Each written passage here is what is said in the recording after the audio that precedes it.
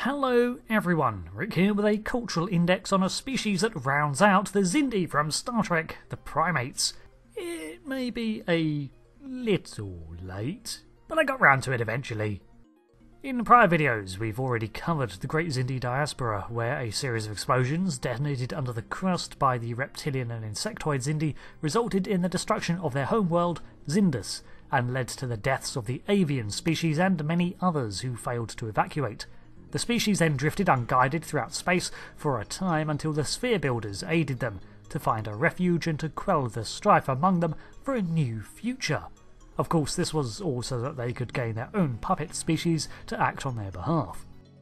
Biologically, the primate Xindi are the closest to humans, in being that they're evolved from primates. They share 99.5% of their DNA with their neighbouring Xindi, however, and share the same cranial patterns seen on the others and cheekbone ridges. Their hairline began much higher up than a human's, and as a result was often swept back with no fringe. They lack the more pronounced facial features of the arboreal Xindi and substantially less facial hair. It is unknown if Xindi primates can actually grow beards, as evident when Degra's hair was artificially aged in the Stratagem episode, while he did not end up with even a day's growth of stubble. Their skin tones shared the same diversity as humans and Vulcans, ranging from pale pinks to deep browns, but the majority seem to have darkened hair. To best understand the primates, it's beneficial to compare their temperaments to the other Xindi species, as we only have a few first hand examples of the primates. Whereas the insectoid and reptilians were often more aggressive and argumentative, the primates were often more diplomatic and measured. They had a similar slow, deliberating way of thinking as the arboreals, to whom they were closest in biology as well as thought. But whereas the arboreals were far more chill about things, the primates were best described as simply more restrained with their emotions. Although they too often found the aquatic tendencies to ponder things for too long an irritating trait, and the primates themselves could occasionally seem as stubborn as a reptilian. Because of their closeness, the primate and arboreal Xindi were often found on the same side of arguments among the council, even before and during the Xindi Civil War.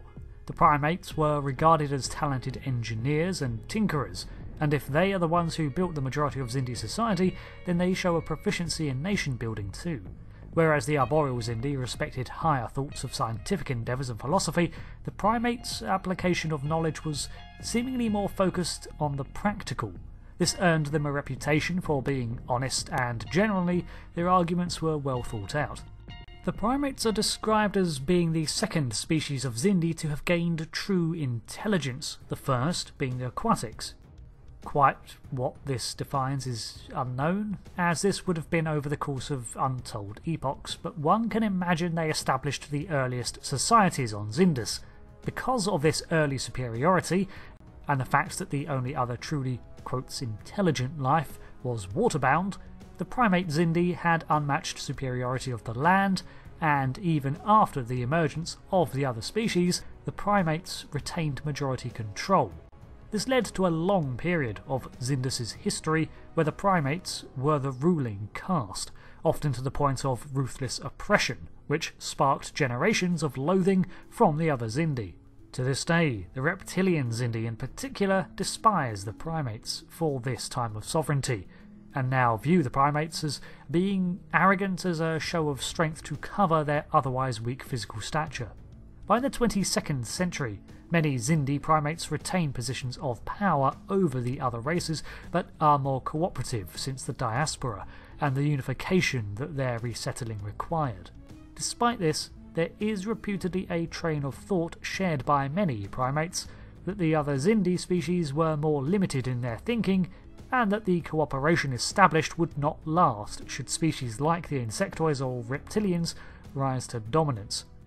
Sounds like they wanted equality without actually wanting equality. That being said, they are also the ones who built the human destroying superweapon, so that seems a rather hypocritical opinion to me.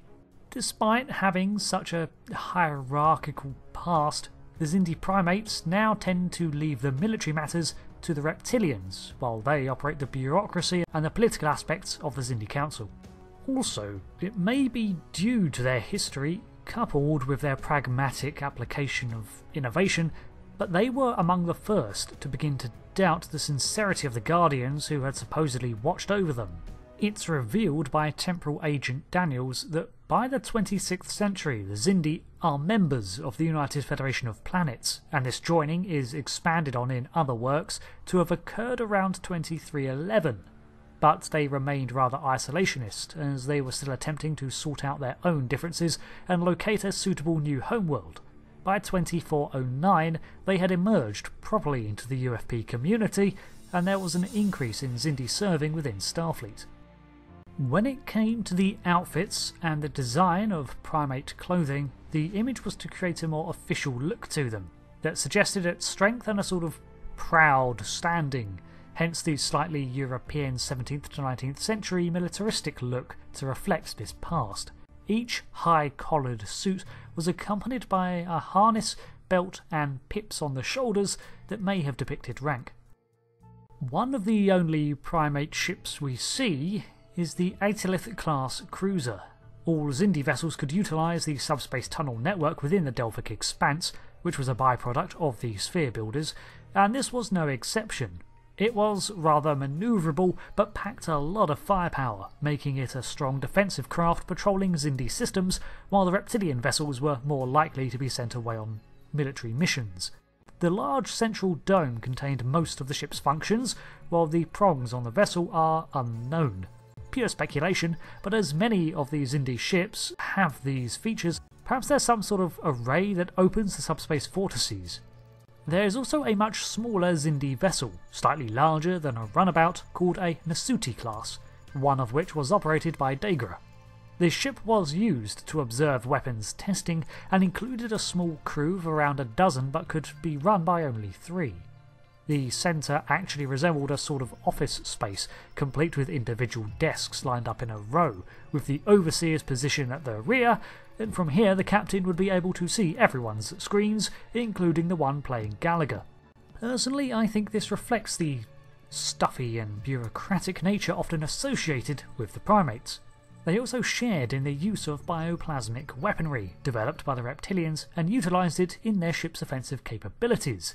As respected engineers, it's likely, however, that Xindi primates had a hand in the construction of multiple other Xindi vessels operated by their brethren species, and they in theirs. The common Xindi language spoken is in fact the original language of the primates, spread due to their historical dominance of the others, although many learn aquatic and insectoid as these Xindi lack the ability to converse in the common tongue. The naming structure of Xindi primates seems to possess only one name, Hura, Degra, Thylin, Deepak, and Keswick are male names, while Unara, Jaina, Trinia, and Peral are female names. So that rounds out all the Xindi species. Because of the variation brought in by the five distinct races of Xindi, we only get a relatively small sample size of each of their vastly different species, so many observations are likely tainted by the observation of only a few people and the Xindi primates perhaps personify this most accurately in their closeness to humans, that they are just that people. All the information I've drawn up here is from both the show and apocryphal content, but there are always going to be those who buck the trends, perhaps the primates most of all. Thanks for watching this cultural index on the primate Xindi.